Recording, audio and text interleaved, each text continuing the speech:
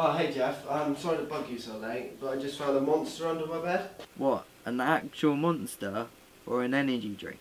Yeah, yeah, the drink. Yeah, but it'd be cool if it was an actual monster, wouldn't it? Yeah. Um, I, is it yours? No. Why? Because I don't drink the stuff. I don't like it. Oh man, I love the stuff. It gives me energy when I'm on a massive rave. Well, do you want it? Yeah, sure, if you don't want it.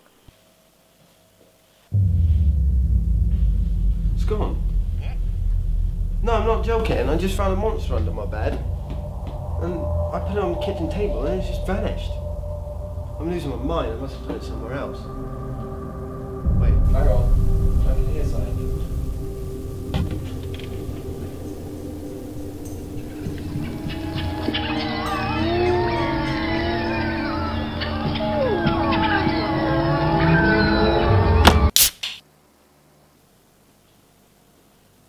Hello, Martin? Where have you gone?